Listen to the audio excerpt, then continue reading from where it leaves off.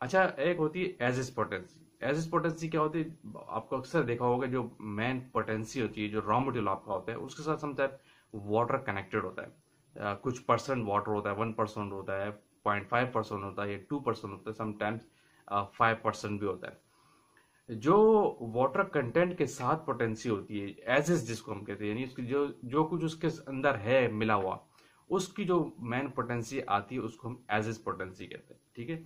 यानी water content के